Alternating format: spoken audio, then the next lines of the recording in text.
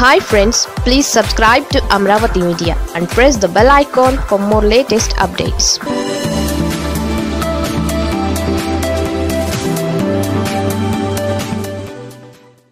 high court Amaravati తీర్పులో చెప్పిన continuous mandamus అంటే ఏమిటి? అమరావతి రాజధానిపై ఆంధ్రప్రదేశ్ హైకోర్టు తీర్పునిచ్చింది. అమరావతిని రాజధానిగా అభివృద్ధి చేయాలనేది ఆ తీర్పు సారాంశం. అయితే ఈ విషయంలో high court continuous mandamus declaration ఇవ్వడం హాట్ టాపిక్ అయింది. అసలు మాండమాస్ అంటే ఏంటి? ఈ కంటిన్యూస్ మాండమాస్ అంటే ఏంటనే అంశం చర్చనీయాంశమైంది. రాజధాని విషయంపై మొత్తం డెబ్బై పిటిషన్లను విచారించిన త్రిసభ్య ధర్మాసనం తుది తీర్పునిచ్చింది. సిఆర్డీఏ చట్టం ప్రకారమే ప్రభుత్వం వ్యవహరించాలంది. అమరావతి భూములను తనఖా పెట్టడానికి వీలు లేదని రాజధాని అవసరాలకు తప్ప వేరే వాటికి భూములు ఇవ్వొద్దని చెప్పింది కోర్టు.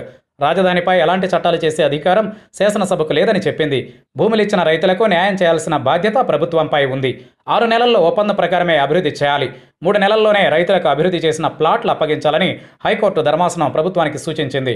అమరావతి అభివృద్ధి పనులపై అప్పటికప్పుడు కోర్టుకు నివేదిక ఇవ్వాలని రాష్ట్ర అత్యున్నత న్యాయస్థానం ఆదేశించింది. అభివృద్ధి పనులు ఎంతవరకు వచ్చాయి? రైతులకు ప్లాట్లు అప్పగించారా లేదా? ఏంటనే విషయంపై హైకోర్టు గమనిస్తూ ఉంటుంది. దానినే కంటిన్యూస్ మాండమస్ అంటారు. Mandamus writ. చట్టబద్ధమైన విధిని నిర్వహించాలని సుప్రీంకోర్టు లేదా హైకోర్టు ఇచ్చే ఉత్తర్వులను రిట్లు అంటారు. భారతదేశంలో habeas corpus mandamus prohibition quo warranto certiorari రిట్లను కోర్టులు జారీ చేస్తాయి. మాండమాస్ అంటే ఆదేశం అని అర్థం. సుప్రీంకోర్టు లేదా హైకోర్టు జారీ చేసే అత్యున్నత ఆదేశమే మాండమాస్ ఇందులో కంటిన్యూ మాండమాస్ డిక్టేర్ అంటే కోర్టు తానిచ్చిన తీర్పును పర్యవేక్షిస్తుంది. ప్రభుత్వాధికారి లేదా సంస్థ తన చట్టబద్ధ విధులను నిర్వర్తించినప్పుడు ప్రజల హక్కులకు భంగం కలుగుతుంది. అలాంటి సందర్భాలలో ఆ విధులను నిర్వర్తించాలని న్యాయస్థానం ఈ రిట్ను జారీ చేస్తుంది. ఈ రిట్ను public quasi public judicial quasi judicial సంస్థలకు వ్యతిరేకంగా జారీ చేయొచ్చు. భారతదేశ రాజ్యాంగంలోని ఆర్టికల్ ముప్పై రెండులో రిట్లు పరిధి పరిమితుల గురించి వివరణ ఉంది. ప్రాథమిక హక్కుల పరిరక్షణకు జారీ చేసే ప్రత్యేక ఆదేశాలను రిట్లు అంటారు. వీటిని జారీ చేసే పద్ధతిని బ్రిటిష్ రాజ్యాంగం నుంచి తీసుకున్నారు.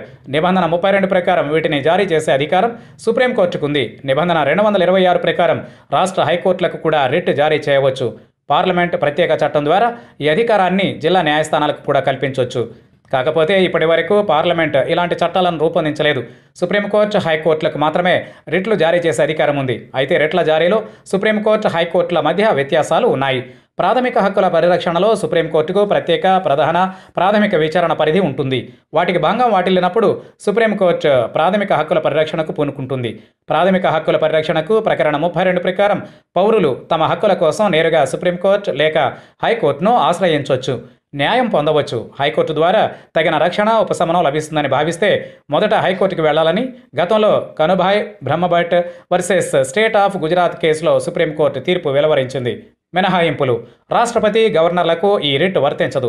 ప్రైవేటు వ్యక్తులు ప్రైవేటు సంస్థలకు వ్యతిరేకంగా ఈ రిట్ను జారీ చేయడానికి వీల్లేదు. దీనిని అంతిమ ప్రత్యామ్నాయంగా మాత్రమే జారీ చేసే వీలుంది. పాలనాపరంగా ప్రజలు న్యాయం పొందలేనప్పుడు ఈ రిట్ ద్వారా ఉపశమనం పొందొచ్చు. ఈ రిట్ జారీ కోర్టు విచక్షణపై ఆధారపడి ఉంటుంది.